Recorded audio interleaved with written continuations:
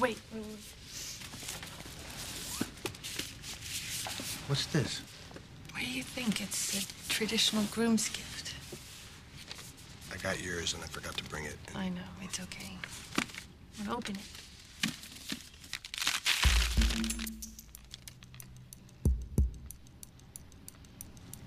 It's a first edition.